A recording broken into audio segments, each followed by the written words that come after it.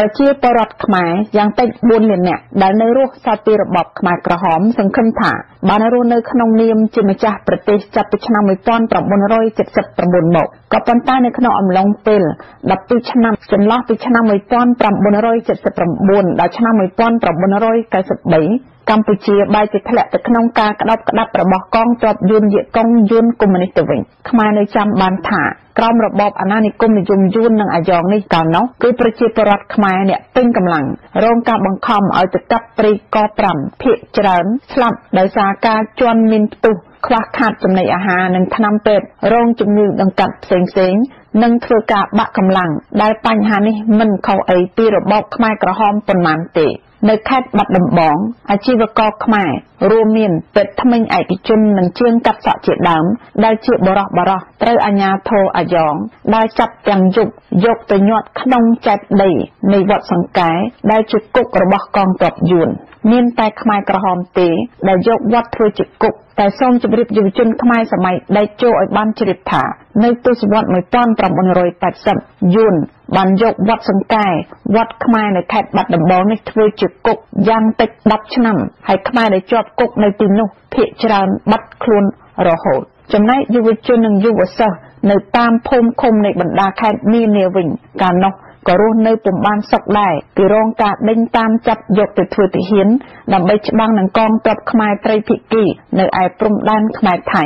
ហើយយុវជនខ្មែរខ្លះ សុកចិត្តពួននៅក្នុងធុងនៃឡានដឹកសាំងថាប់ដង្ហើមហើយស្លាប់អស់មួយចំនួនក៏មានបើនិយាយអំពីសេរីភាពនៃការធ្វើដំណើរវិញគឺត្រូវគឺប្រជាពលរដ្ឋខ្មែរត្រូវតាមលិខិតសុំច្បាប់ដើម្បីឆ្លងពីខេត្តមួយទៅខេត្តមួយរាជខ្មែរណាចង់ស្ដាប់វិទ្យុសំឡេងសហរដ្ឋអាមេរិក VOA ត្រូវតែលបស្ដាប់នៅក្នុងមុងទាំងផិតភ័យកុំឲ្យអាជ្ញាធរដឹងឮ សិស្សសាលានិស្សិតខ្មែរនៅតាមមហាវិទ្យាល័យពិសេសនៅសាលាគរុកុសលនៅក្រុងភ្នំពេញគឺនិស្សិតខ្មែររងការបង្ខំឲ្យរៀនភាសាយួនយ៉ាងតិច3ឆ្នាំដំបូងទន្ទឹមនឹងនេះប្រជាពលរដ្ឋខ្មែរនៅទូទាំងប្រទេសត្រូវបង្ខំចិត្តឲ្យដឹងគុណកងទ័ពយួនឲ្យដឹងគុណរដ្ឋាភិបាលយួននិងឲ្យត្រូវដឹងគុណពលរដ្ឋយួន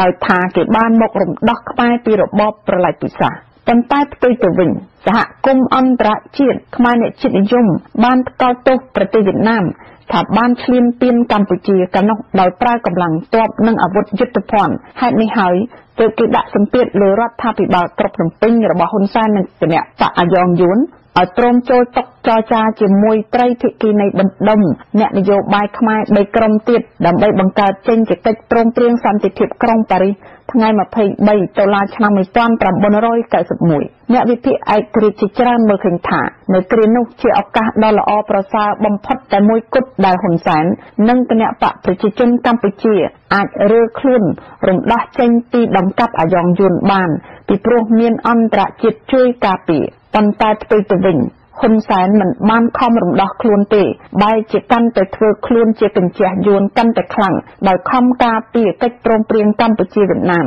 ឆ្នាំ1979ឆ្នាំ1982ឆ្នាំ1983និងឆ្នាំ1985ដោយបង្កើតសន្ធិសញ្ញាបំពេញបន្ថែមឆ្នាំ2005ដើម្បីប្រថាប់ត្រាឲ្យសន្ធិសញ្ញាខុសច្បាប់ទាំងនេះរស់ឡើងវិញជានិរន្តរ៍រហូតមកដល់បច្ចុប្បន្នដែលសន្ធិសញ្ញាទាំងនេះជាសន្ធិសញ្ញាដាក់កម្ពុជាក្រោមអាណានិគមនិយមយួនហេតុនេះខ្មែរឃើញថា តាំងពីឆ្នាំ1993មក បន្ទាប់ពីមានការបោះឆ្នោតដោយអ៊ុនតាអង្គការសហប្រជាជាតិឈាមខ្មែរនៅតែហូរជារៀងរាល់ថ្ងៃពិសេស នៅឆ្នាំ1997ផ្ទុះអាវុធទម្លាក់សម្ដេចក្រមព្រះនរោត្តមរណរដ្ឋនិងនៅឆ្នាំ1998មានការបាញ់សម្លាប់បាតុករជាយុវជនខ្មែរជាប្រជាពលរដ្ឋខ្មែរនិងជាព្រះសង្ឃខ្មែរដែលធ្វើបាតុកម្មដោយអហិង្សានេះមិនទាន់រាប់បញ្ចូលទាំងនៅដើមខែមករាឆ្នាំ2014ដែលមានការបាញ់សម្លាប់បាតុករកម្មករខ្មែរនៅលើផ្លូវវែងស្រេងផងនោះទេសួរថា នេះឬជាស្នាដៃដ៏ពិសេសវិសាលរបស់ហ៊ុនសែនដែលអះអាងថាខ្លួនជាអ្នកធ្វើឲ្យកម្ពុជាមានសន្តិភាពតើសន្តិភាពបែបហ្នឹងផ្ដោតលើបញ្ហានេះអ្នកវិភាគឯករាជ្យ3រូបនៅកម្ពុជាបំភ្លឺពិស្ដារតាមរយៈសេចក្តីរាយការណ៍របស់នាយកព័ត៌មាននៃវិទ្យុ CMN កញ្ញាបញ្ញភាដូចតទៅនេះបរិសុទ្ធខ្លាំងនៅកម្ពុជាអះអាងថាខ្លួនបានយកជីវិតដើម្បីបញ្ចប់សង្គ្រាមរកសន្តិភាពជូនកម្ពុជា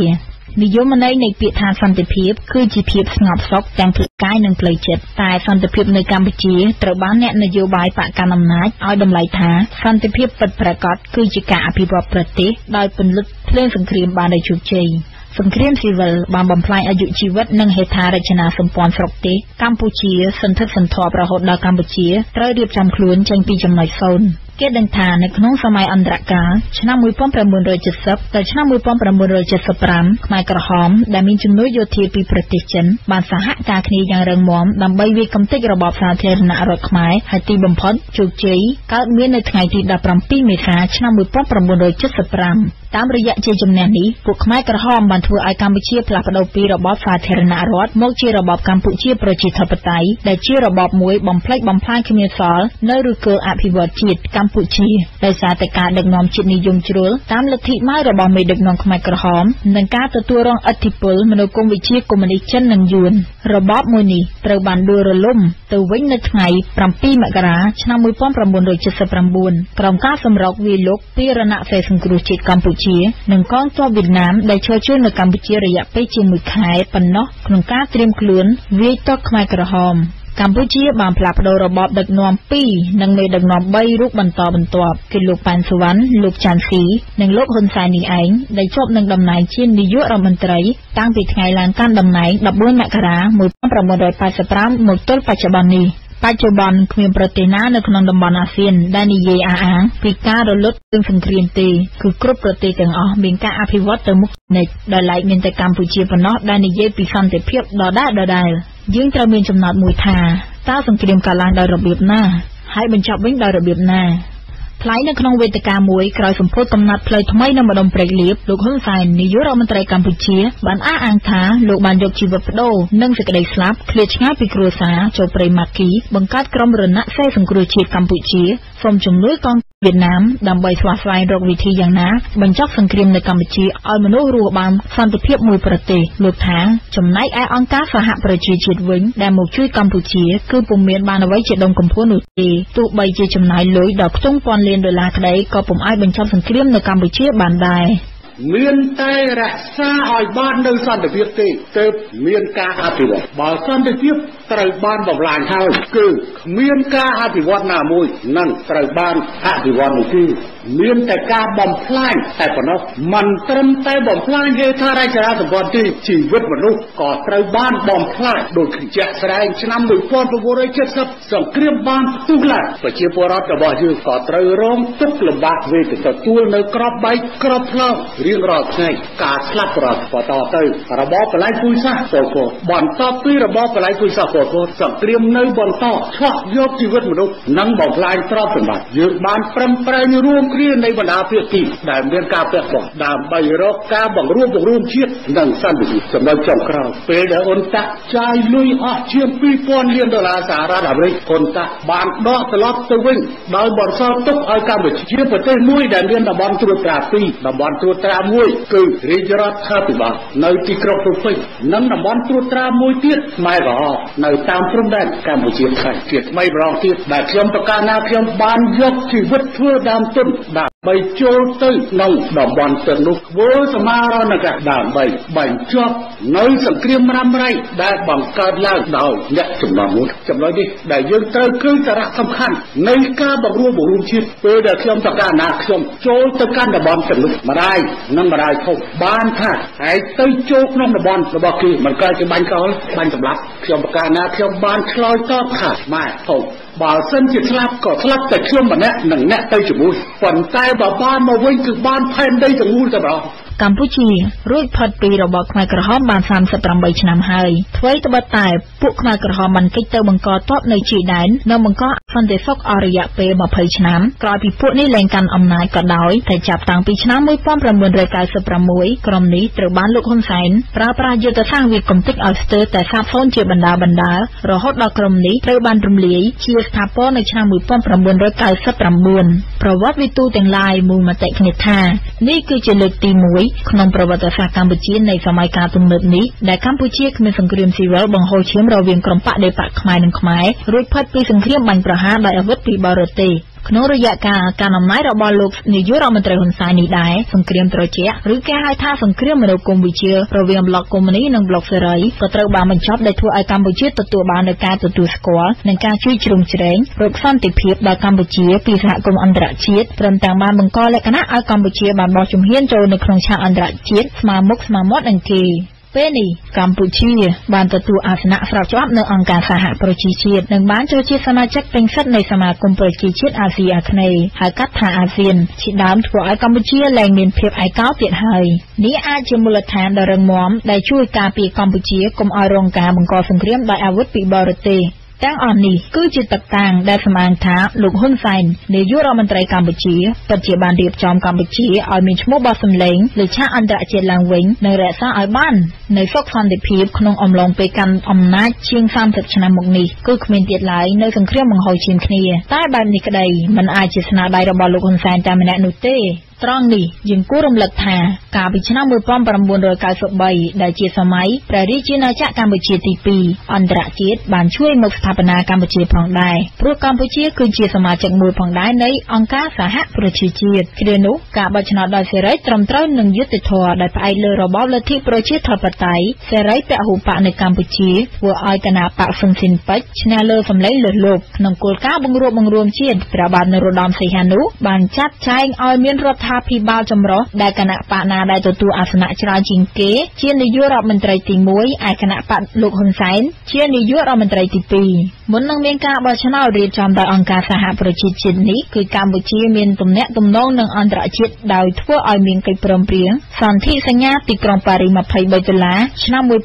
1991ជាការជួបជុំរវាងខ្មែរនិងខ្មែរដែលមានប្រទេស19ជាសក្ខីភាពក្រោមការអំពាវនាវរបស់សម្ដេចនរោត្តមសីហនុបានកោះអញ្ជើញឲ្យខ្មែរនិងខ្មែរគ្រប់និន្នាការមកចាប់ដៃគ្នាបញ្ឈប់ការវាយប្រហារដោយបំផ្លាញប្រទេសជាតិខ្មែរបន្តទៅទៀតពេលនេះហើយដែលកិត្តិយសកម្ពុជាត្រូវបានពំនាំមកកាន់អន្តរជាតិឲ្យពិភពលោកទាំងមូលទទួលស្គាល់ហើយបង្កើតឲ្យមានរដ្ឋាភិបាលស្របច្បាប់ តើអ្នកវិភាគយល់ដូចម្តេចដែរចំពោះការអះអាងរបស់លោកហ៊ុនសែនដែលថាលោកជាអ្នកពន្លត់សង្គ្រាមនៅកម្ពុជាបណ្ឌិតពីររូបដែលជាអ្នកវិភាគបញ្ហាសង្គមដ៏ល្បីល្បាញនៅកម្ពុជាគឺលោកបណ្ឌិតឡៅម៉ុងហៃនិងលោកបណ្ឌិតមីនីបានចូលមកបណ្ដាញផ្សាយព័ត៌មានកម្ពុជា CMN ដើម្បីធ្វើការវិភាគជូនប្រិយមិត្តអ្នកស្ដាប់ត្រង់ចំណុចនេះលោកបណ្ឌិតមីនីអ្នកស្រាវជ្រាវបញ្ហាសង្គមនិងនយោបាយបានដាស់តឿនប្រជាពលរដ្ឋកម្ពុជាឲ្យស្គាល់ពីគុណតម្លៃនៃកិច្ចព្រមព្រៀងក្រុងប៉ារីសថ្ងៃទី23ដុល្លារឆ្នាំ1991ដែលធ្វើឲ្យកម្ពុជាមានអ្វីអ្វីទល់សពថ្ងៃ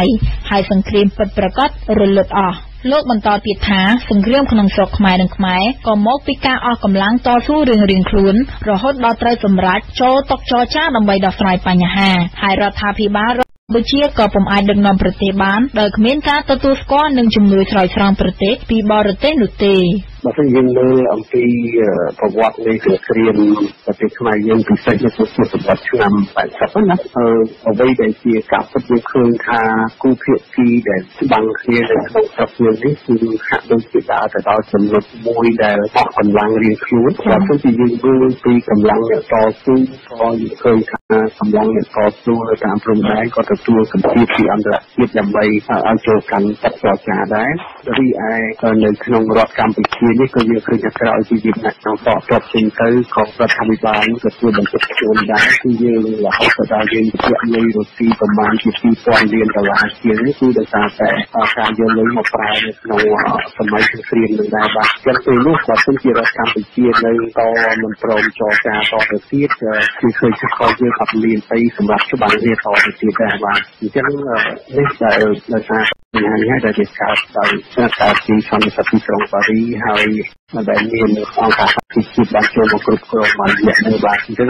សម្រាប់ការអនុអាងរបស់ប្រមុខរដ្ឋាភិបាលនេះគឺជាសិទ្ធិរបស់គាត់ទេប៉ុន្តែសម្រាប់ជាប្រវត្តិសាស្ត្រគឺតាមទស្សនៈរបស់ខ្ញុំអ្វីដែលយើងតាមតាមអំពីនយោបាយនិងប្រវត្តិស្រីនៅស្រុកខ្មែរយើងគឺខ្ញុំបានជម្រាបជូនហ្នឹងណាបាទចាចាហើយអ៊ំអាចរំភ្លឺបានទេថាវៀតណាមបានដកទ័ពដកកងទ័ពចេញពីកម្ពុជាហ្នឹងគឺដោយសារតែមូលហេតុអ្វីពិតប្រាកដអឺបាទគឺនៅពេលនោះគឺដោយសារតែបញ្ហាសង្គ្រាមត្រជាក់ក៏វាត្រូវបានចប់ដែរអញ្ចឹងវៀតណាមក៏មិនមានមូលហេតុអីដែលត្រូវនៅបន្តជឿនពៀនឬក៏គ្រប់គ្រងប្រទេសខ្មែរតទៅទៀតទេណាអឺបើវៀតណាមនៅតទៅទៀតក៏វៀតណាមទៅទទួលរងនៅទីអន្តរជាតិ បាទព្រោះពេលនោះគឺដំណើរវិវត្តនៃការបញ្ចប់ពីគ្រាមតិចនេះវាត្រូវបខំត្រូវការបខំឲ្យគូភាគីច្បាស់គ្នាទាំងអស់ទៅគ្រប់ស្រុកត្រូវតែចូលរួមគ្នាហើយ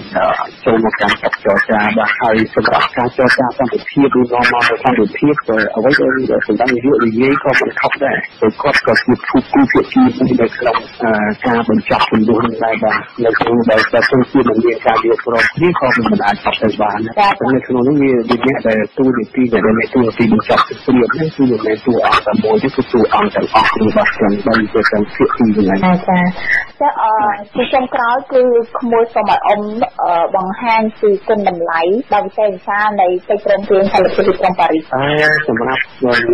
ន្តិភាពកិច្ចព្រមព្រៀងទីក្រុងប៉ារីសគឺរឿងធំមួយគឺការនាំកិត្តិយសទៅកម្ពុជាមកកាន់ឆាកអន្តរជាតិវិញបើទៅយើងក៏មានសន្តិភាពទីក្រុងប៉ារីសក៏យើងមិនត្រូវបានគេទទួលស្គាល់ទៅលើទូទាំងពិភពលោកវិញតែថាពេលនោះហើយពេលដែលមហាអំណាចគ្រប់របស់ទាំងអស់នៅក្នុងពិភពលោកទូទាំងឲ្យរួមទាំងមានប្រទេសសហរដ្ឋអាមេរិកទាំងអស់គឺជាបានផ្ដោតការយកចិត្តទុកដាក់មកធ្វើការគ្រប់គ្រងទៅលើ ចំណាការសន្តិភាពហើយរដ្ឋធម្មនុញ្ញដែលយើងធ្វើដល់ថ្ងៃក៏ធ្វើឡើងដោយការជិះពីសន្តិភាពក្នុងប៉ារីសនឹងដែរបានអញ្ចឹងការទៅដែលជាសមិទ្ធផលដែលការទៅពីសន្តិភាពក្នុងប៉ារីសគឺជាសមិទ្ធផលវត្តសាស្ត្រដែលអាចនឹងអត់ទៅបានទេបាទការអះអាងរបស់លោកហ៊ុនសែនពុំមានអ្នកវិភាគណាមួយច្រើនចោទដាច់ណាត់នោះទេតែគ្រាន់តែគេថាមិនមានតែលោកហ៊ុនសែនម្នាក់ទេដែលមានស្នាដៃនៅក្នុងរឿងនេះលោកបណ្ឌិតឡាវម៉ុងហៃយល់ឃើញថាអ្វីគ្រប់យ៉ាងមិនមែនមកពីការខំប្រឹងប្រែងរបស់លោកហ៊ុនសែននោះទេ ទាំងសិទ្ធិសញ្ញាក្រុងប៉ារីសទាំងរដ្ឋាភិបាលស្របច្បាប់ទាំងស្នាព្រះរាប់បង្រួបបង្រួមជាតិរបស់សម្ដេចសីហនុទើបសន្តិភាពនៃសង្គ្រាមកើតបាន